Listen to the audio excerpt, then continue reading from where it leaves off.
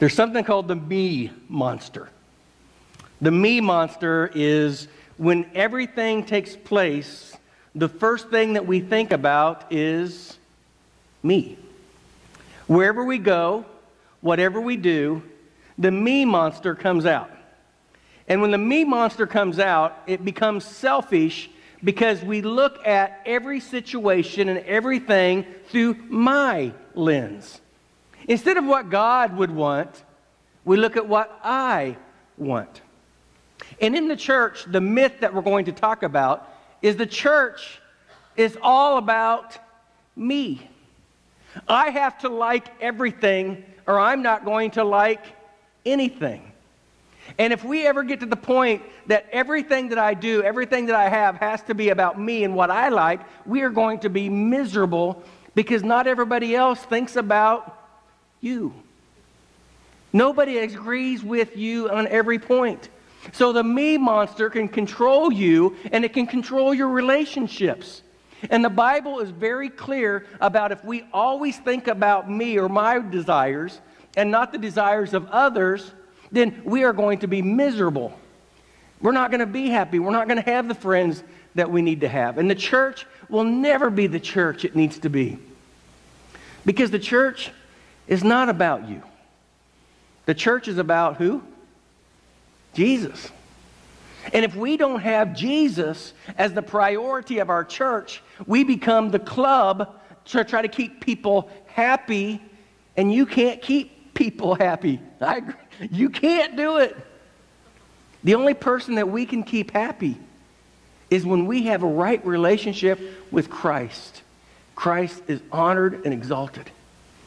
Um, many years ago, about 25 years ago, I was 30 years old. And uh, I came, something like that. Uh, I went, uh, I went from this little country church that had a blind pastor, and we, it was just a country church. The town of maybe 600 people in the town. It was Aubrey, Aubrey, Texas, and it was, it was just a small country church. And the Lord moved me from that church as a youth pastor into a church that, listen to this, they had this old facility, and the hospital in Springfield needed that land. So they told the church, you, we, if you will sell us this land, what we're going to do is we have 10 acres out on the highway, and we will build you any building that you want, completely free, and we will buy your building. So I walked into this seven, ready for this, million dollar brand new church. Big time. I was this little country youth pastor. And I was exalted into this administrative pastor position with seven or eight hundred people in the $7 million complex with $250,000 in the bank. And I didn't know anything about administration. And the pastor said, Bruce, what we need to do is, is we need to start doing some things to the facilities. And the youth pastor came up and said, we need to, we need to buy a couple vans. So my very first month as the administrative pastor, in this big, rich church. And I am a country bumpkin. I didn't know Jack. And I had to walk into this deacon board meeting with 12 old, old men like Ken White. Where's Ken White? I mean, they're all like Ken White, a bunch of old white haired old men. And they are all sitting around this table. And I had to walk up and I said, Guys, uh, my name's Bruce, and, and I'm the new administrative pastor here. And they we greeted a little bit, and he said, I have some things I need to talk to you about. We need to buy two vans. Uh, the youth pastor wants a van so we can pick up some kids and do some activities. Here's the me monster that popped out. The chairman of the deacon board sat at the end of the table, put his hands like this, and he said, Son, let me tell you something. I've been here a lot longer than you will ever be here. And this is my church, Nothing happens in this church until I agree with it. So we are not going to get your vans. 30 years, my first deacon board meeting. I said, wow.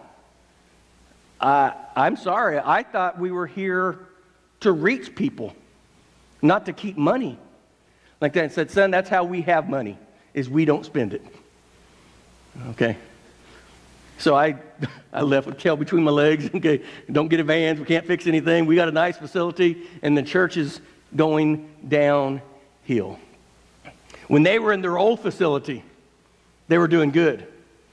But somehow, when they got the $7 million beautiful complex with money in the bank, they folded their arms and they said, I am happy with what I have. I didn't stay at that church very long. I left that church to come here. And when I came here, the same deacon board, except for they're a lot younger here, and they said this What do we need to do?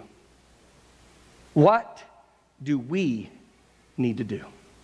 Total different mindset about being arrived, having everything that we want, to be in an old facility over there, just happy to have people coming through the doors and loving people. What do we need to do? The mindset of the me monster at that church is quite different than the loving monster that was in this church to help people and to encourage. When that man folded his arms and said, This is my church, I knew it was not going to be my church. I learned a lot, but I was never happy. I was never happy because of the me mindset. I love the us mindset. And that's what we need to continue in this church. How can we always keep our eyes off of myself and put our eyes on God and never cross our arms and say, we don't want the teens to do that, or we don't like the music here, or the preacher's too long, or whatever the case is. We're not going to be happy about everything, but in everything, we can bring glory and honor to Christ.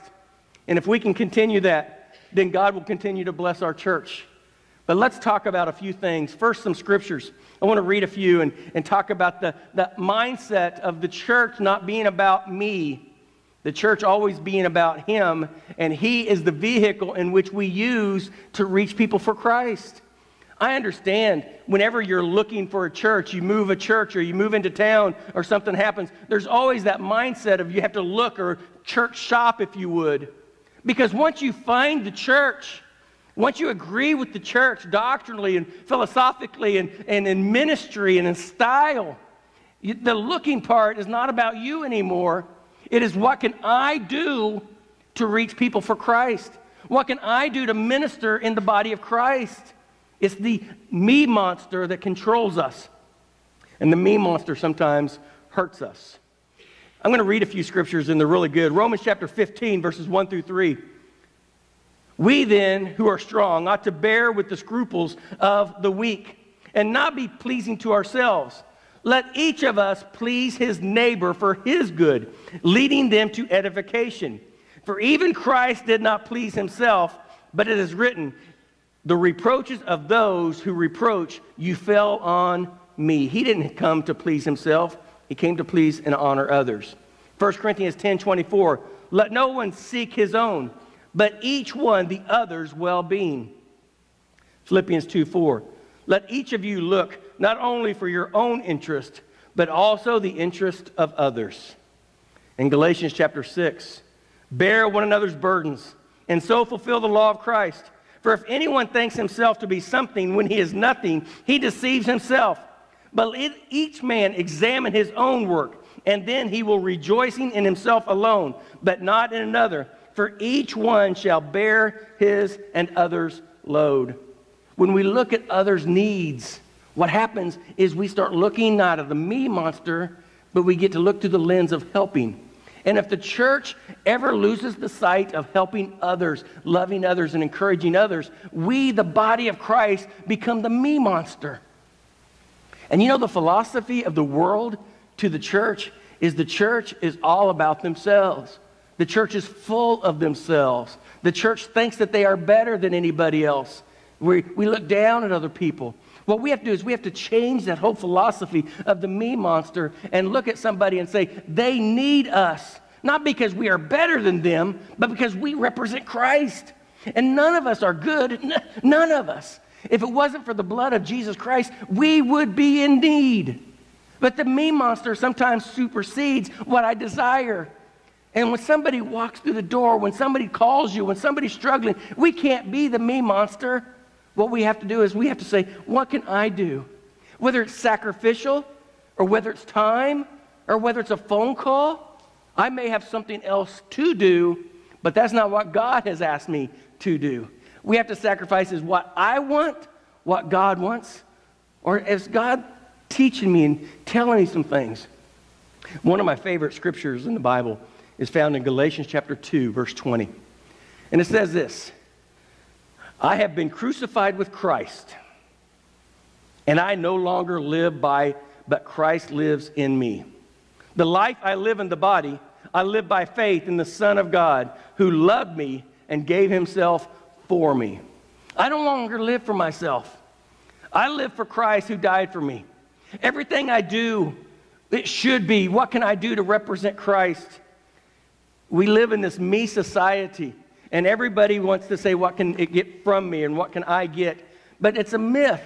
There's, there's some things that we have to think about and talk about as far as how to get away from that. Um, the first, uh, when my oldest son was, was born, I, I, I, was watching him grow up, and we babied him a lot, and he needed to be babied. You know, he pampered him, and and uh, and. But I was longing to hear his first words. And you know, when you have par- parents, you, you hear what's his first word, and you know what I thought his first words were going to be? Daddy. Leslie thought it was going to be mommy, but I thought it was going to be daddy. And you know what it was? Mine. His first word, mine. And it hasn't changed yet. He's still here, so I can say that. Mine. You know, sometimes we grow up, we think about mine, my toy, my life, what I want. And I think we should have aspirations for positive life, but we can't be caught in the me monster. In 2 Timothy chapter 4 says this, "For the time will come when men will not put up with sound doctrine. Instead, to suit their own desires, they will gather around them a great number of teachers to say what their itching ears want to hear. They will turn their eyes away from the truth and turn aside to myths. But you, keep your head in all situations, endure hardships, do the work of an evangelist, discourage or discharge all the duties of the ministry. Sometimes we, we when we don't like something, we're going to hold on to something that we like, words that we like, not sound doctrine not the truth, because the truth may convict me. In 1 Timothy, it says this If you point these things out to the brothers, you'll be a good minister of Christ, brought up in the truth for the faith of the good teachings that you have followed. Have nothing to do with godless myths and old wives' tales. Rather, train yourself up to be godly. For physical training is some, has some value, but godliness has the value for all things holding promise to both the present life and the life to come. Sometimes we hold on to truth that we like and we discard the truth that we don't. Sometimes we just have to say, What is right? What is right, whether I agree with it or not, and then I have to change my mindset. Barna said this about churchgoers more than two of five believe that Jesus committed sin while he was on earth committed sin. You know, when God said that Jesus is the Lamb of God that takes away the sin of the world, this is the, the perfect Lamb of God. As a church, I would say to you, we have to understand that Jesus was the perfect. He never committed sin. And we died on the cross, he shed his innocent blood for us. And we have to hold on to that as a church. 57% believe that Satan is not a real being and just a symbol of evil. Well, that's exactly what Satan wants you to believe. He wants you to believe one or two different things. Satan wants you to believe that he is all powerful. He wants you to believe that you cannot sustain against him. He wants you to believe whenever you look at him that he has total control over everything that you do and you have no power over him. Or he wants you to take this side over here that he's a, a goofy cartoon character with a pitchfork in his hands and all he is is make believe. He doesn't care which ends you believe as long as you don't know the truth. And the truth is, it's not about you. The truth is, Satan and Jesus are at war. Jesus wants you to go to heaven with him. He died on the cross for you. And it's a myth to believe that Satan wants you. Satan wants to defeat you because Jesus loves you. And it's not about you, it's about Jesus. And what our job is, is to preach the gospel, to share our life to people that Satan wants to destroy. He's not all powerful, Jesus is. He's not a cartoon character at all. He's real. He wants to get into your life, He wants to trip you up. He wants to make your life miserable. But once you give your life to Christ, you have all authority to stand against Satan. Hear that again. You have all authority to stand against Satan. Get thee behind me, Satan. Jesus has already defeated him. We are a child of God. It's all about Jesus. If it's about you, Satan will destroy you. Satan loves selfish people. Jesus loves humility. If the church is full of selfish individuals, who's in charge of the church? If the church is full of humble people, who's in charge of the church? If we allow the me monster to control us, Satan is in control. But Jesus died for the church. He died for you. And once we accept him as our Lord and Savior, we do not have to believe the myths. Satan is real, but Satan is not all powerful. Jesus is real, and Jesus has never sinned, and Jesus has all power, all power to do whatever he desires. It's not about me, it's all about Jesus. When we look at what Jesus can do and what Jesus wants to do, we have to look at the body of Christ. You know, selfishness works in all areas. Even when we're trying to do good, sometimes selfishness takes over.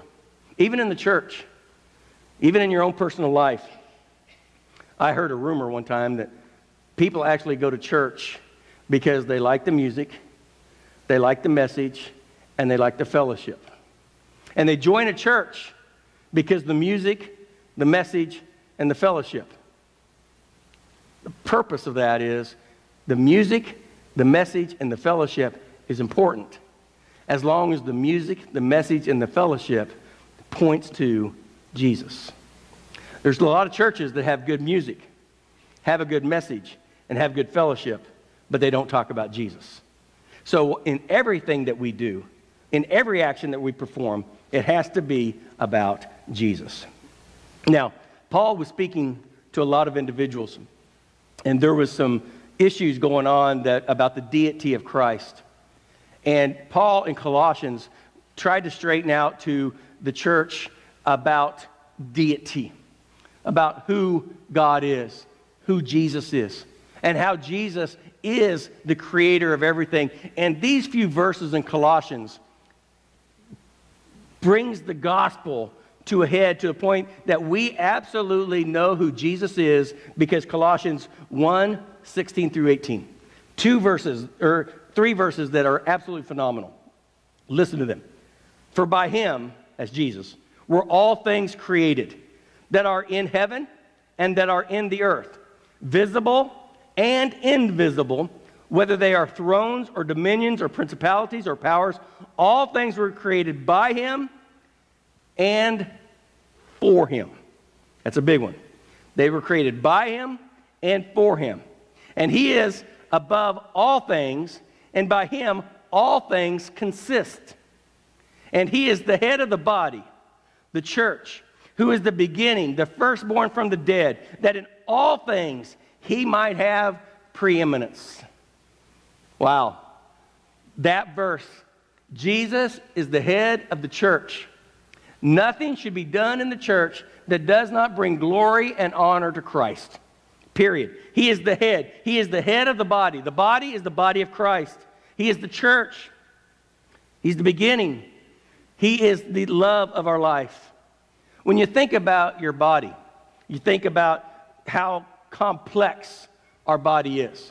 And it is very complex. Whether it's muscles, whether it's tendons, whether it's, whether it's blood, whether you look at all kinds of different things, you could take one inch of your hand and, and diagram that one inch. You have blood vessels, you have pain sensors, you have nerve endings, you have heat sensors, you have pressure sensors, you have all kinds of things within your body. It's very complex.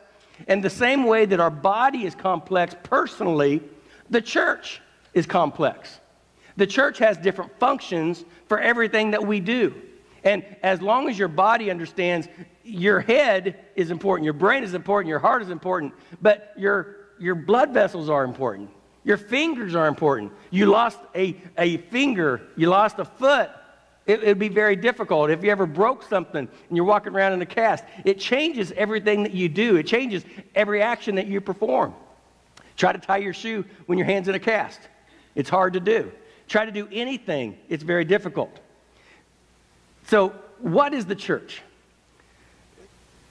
The church is a visible proof of the body of Christ. I can't see your spirit, nor you can see mine. But our bodies are alike, they're both visible. A living body is the evidence of a living spirit. The world cannot see the invisible Christ, but it can see the body of Christ. The body of Christ is Jesus in the flesh. We are the hands and the feet of Christ. It can see us, it listens to us. Do we represent Christ? Are we Christ like ones? They don't see Christ, but Jesus is the head of the church. We are Christ's. We are his hands. We are his feet. So when we look at that and the world looks at us, we are a reflection of Christ. Are we a positive reflection of Christ? Are we a selfish reflection of ourselves? So all of body parts make up as a whole. Each part of the body has a purpose. Eyes for seeing, the ears for hearing, the hand for gripping, and the feet for walking. Each is connected to one another and is all connected to the head. As the head controls the body, so Christ ought to control the church. If Christ is the head, it should control every part of the body. It controls what you do, what you say, the actions that you perform. It is a controlling factor. And how we can control our head, our heart, our hands, and our feet is if we are connected to the body or we're connected to the head. Each part is dependent upon the head. Each part of the body, each part of our life is dependent upon the head, and that's the body of Christ. And that's Jesus Christ, the head of the church. So if we are connected to the head, but we are not doing what Christ asked us to do, we are not abiding, we're not listening. So it doesn't do any good to come to church Listen, you don't hear that from a pastor. It doesn't do us any good to come to church if it's all about you. It does you everything to come to church if we're trying to do it all about Him. Because what good is it if the hand says, I don't care what the head wants me to do? I'm going to do what I want to do. The hand will never do what it can do unless the brain tells it what to do. Because the brain organizes every muscle, the hand in itself has no control until it's connected to the brain. You ask somebody that had a stroke, and it's, it's hard to watch somebody go through physical therapy that have been paralyzed because of a stroke. Anybody ever watch that? Everything's backwards. They, they, try to say this and this hand moves, or they try to move their left leg and the right leg moves. It's, it, the head, the brain, is not fully functioning into a part until they do physical therapy and learn to walk, learn to move over. They have to train the brain to the muscle to move the action. And the church sometimes, when it's a me church, they have a, have a stroke. They're not thinking properly. They're not thinking for Christ. They're thinking for themselves. And they are dysfunctional and they cannot do what God actually wants them to do. This is my church. Son, let me tell you something. I've been here longer than you will ever be here. What is that? That's the me monster. What about God? What about God moving in certain ways in your life? What about allowing God to say, Is that what you want us to do? We can talk about things, we can articulate them, we can even debate them. But if the me monster comes out, that is the flesh. We fail miserably with the flesh. When the part of the body is hurting, or missing, the body struggles. When God brings to the body who he wants in the body, it's not because he wants numbers into the body. You know what God wants for the church? He wants health. He wants a healthy church that's functioning properly in every level. So when God brings you into the body of Christ, He brings you into the church, it's not for your chair. Your chair, whether you're empty or there, the chair's still going to be there. You can come in and set, sour, and soak all you want. But if you are a functioning part of the body of Christ and you have a gift that God has given to you, and you are a member or a visitor or a guest at this church, you have one job, and that job is to function as the body needs. If you are a hand, function as a hand. The feet function as the feet. Eyes function as the eyes. God has given to you gifts. No part is better than any other part. If one part is hurting, the entire body hurts, right? You have no control over what part you are. When I am born, I had no control over my body parts. God gave to me what He wanted me to have. I then have to train myself to use my body, my heart, my mind for the cause of Christ. But when one part hurts, they all hurt. Ephesians chapter 2. Now, therefore, you are no more strangers and foreigners, but fellow citizens with the saints and the household of God, and are built upon the foundation of the apostles and the prophets, Jesus Christ Himself being the chief cornerstone, in whom all the building fitly framed together grows into a holy temple in the Lord, in whom you are a building together for a habitation of God through the Spirit. God has put us together for a purpose. Now, body parts have different purposes. Philippians chapter 2, verse 13. For it is God who worketh in you both will and to do for his good pleasure.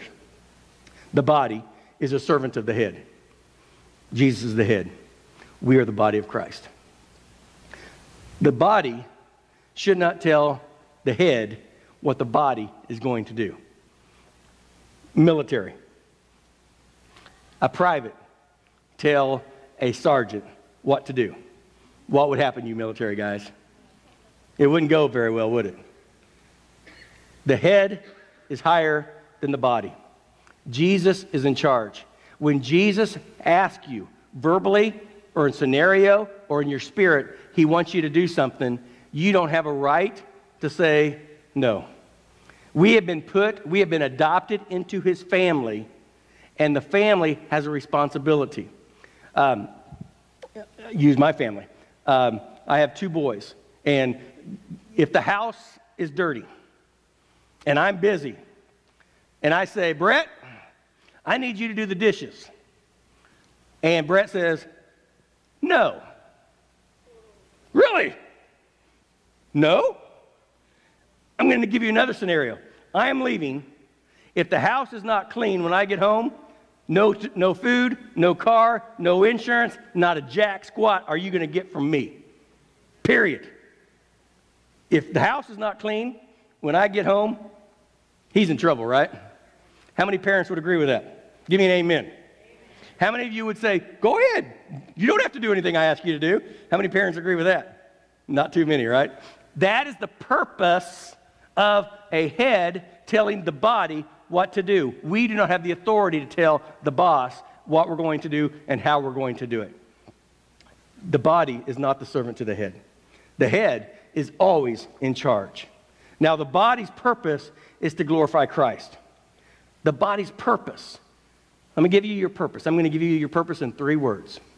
The first word is through worship. He wants to be elevated. The song that we watched, It's All About Me, is not. It's all about Him. Now, at this church over the last few years, we've had some issues with our, with our music. We have lost 50 to 75 people in the last four or five years because of music. They don't like the style, too loud, too short, too long, too soft, don't like the singer, don't like the worship pastor, you know, you name it. I've heard it all. And I want to say this with very due respect. And I don't want to hurt your feelings, but I'm going to say it anyway. The worship is not for you. when we sing our worship, it's to Christ.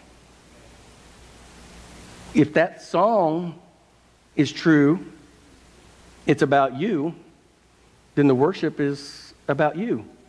So if it's about you, here's what we ought to do.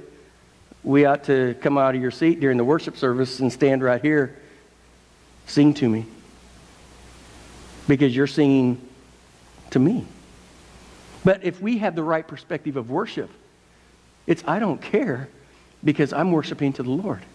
Now, I understand some of us like hymns and some of us like progressive songs. I understand that. that there's no wrong or right whether it's progressive, whether it's hymn. It's all, it's all perspective.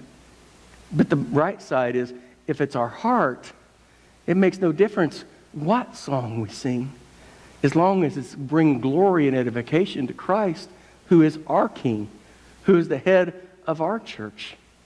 How we worship the Lord is not out of anger and out of spirit of out of anger because I don't like it. What we should do is bow our face and say, Lord, do you like it? And if the Lord likes it, I like it. If it brings glory and honor to Him and He is having His family and His people worship His name, that's what worship is all about. It's not about me.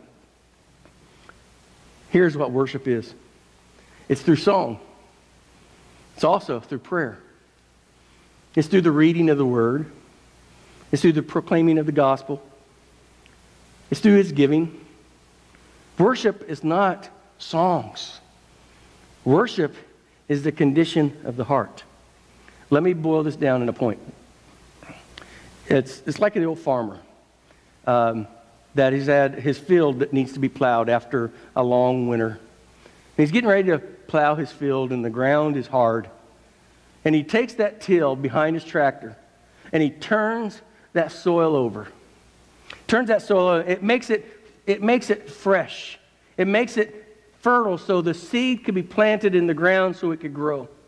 And sometimes when we worship, and even before we worship, we walk into church because we've had a long week and we've had a lot of stuff take place. We've had a lot of junk go on in our life, and our heart is hard. And I get upset and I'm mad. The me monster has taken over six days of my life. And we come into church, and Justin and the, and the team, they're singing. And what worship is supposed to do is to toil, turn our hearts to make it fertile. And if our hearts are not open to the word, we are just bouncing that grain on top of our heart, never to be planted and never to learn. Our worship is opening up our hearts, singing praise to Jesus. So Jesus can take our hearts, turn it, make it pliable, make it plantable. So when the Word of God is spoken, the Holy Spirit can take the word and put it into your heart and let it grow within your life. It's not just words that we sing, it's the whole aspect of your heart. Worship is this Jesus and me. I don't care who's on the platform. It makes no difference who's singing. What makes a difference is who we singing to. Are we singing to you? Are we singing to him? Remember the myth? It's not about you, it's about Jesus. Psalm 62 8. Trust in him at all times, ye people. Pour out your heart before him. God is a refuge for us. Psalms 105. Glory in the holy name. Let your heart of them rejoice that seek the Lord. Let us rejoice in what he can do. So, the first purpose is worship. The second purpose is ministry. Ministry. What is the body doing to glorify the head? Listen to that. What are we doing to glorify Christ? Are we a group of individuals that come to church to sit, to learn, to soak it up, to know more, and to come back next week? Or are we the type of church that is worshiping the Lord, that's growing in the Lord to minister to people out there? to people in here? Are we learning for ourselves, the me monster? Are we learning to grow to do things out there? Matthew 20, 28. Even as the Son of Man came not to be ministered unto, but to minister and to give his life a ransom for all. We have to understand ministry is the feet to worship. We like to worship, but we have to minister. But before we can minister, we have to learn how to minister, and that's through discipleship. We have to learn. We have to learn what to do. Not learn for knowledge, but learn for application. Discipleship is not learning the Bible. That's, that's, that's our own. We can open the Bible, we can learn. The application to discipleship is to go out and to do and learn how to. It begins with evangelism and then goes into teaching and then it finally goes into ministry. We can't go out to minister unless we learn how, unless we know what to do. In 2 Timothy chapter 2, and the things that you have heard and among many witnesses, the same commit thou to faithful men who shall be able to teach others also. Discipleship are men and women that have learned how to and are willing to teach others how to. It's they are sacrificing their time to minister to others. I want to leave with this last verse. Incline your heart and your testimony, and do not covetousness. Turn away your eyes from looking at worthless things, and revive me in your way. He said, David is just saying, I don't want to look at anything else. I don't want to do anything else. What I want is I want you to revive me. I want you to give to me a kindled spirit. I want to learn. I want to grow. I want to be, if, if I could say this with our kids, I want to be like I am the last night at camp. I, I, want all the power of the Holy Spirit upon me. I've worshiped. I love the music. I've learned the speaking. I've given things over to God. We ought to live our life as the last night at camp every day of our life. Because if we live our life pleasing to God as we did the last night at camp, our heart and our life will be so open to the transparency of God that He can use us, He can speak to us, He can move us, He can tell us what to do, and in a whim, we would say, Okay, Lord, I'll do whatever you ask me to do. But problem with that is we want to, but we get home and the me monster comes out. Oh, that was good while I was at camp. But the me monster takes over and says, nah, not today. How do we control the me monster? Is we have to give the me monster to God. Say, Lord, it's not about me. It's about you. Now, your me monster and my me monster, they look totally different. My issue that I hold on to is my issues. And I have to deal with those every day. My job is not to tell you what your me monster is. Your selfishness comes out in different ways than my selfishness comes out. But guess what? We all are selfish. We all have that monster within us that comes out in multiple different ways. But what he has asked us to do is to give our monster, our me monster, to Him. So, today, nobody knows what your monster is. But guess who does? It's all about Him.